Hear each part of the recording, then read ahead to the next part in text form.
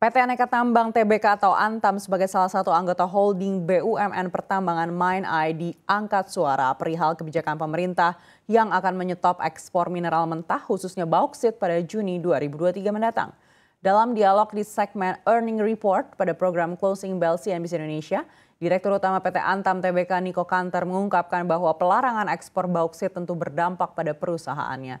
Namun dia mengatakan bahwa pelarangan ekspor tersebut akan terus memberikan manfaat kepada Indonesia.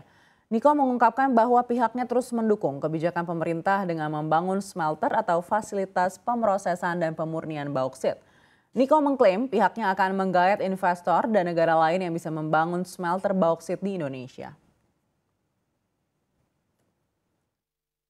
Untuk bauxite, nah itu perlu kita harus mempercepat pembangunan smelter-smelter yang ada di Indonesia. Jadi kebijakan pemerintah itu pasti di dalam implementasi akan berdampak, tapi kita tidak boleh juga tetap mengandalkan kepada ekspor. Karena kan hilirisasi ini adalah penambahan nilai tambah yang harus kita capai. Memang membutuhkan waktu.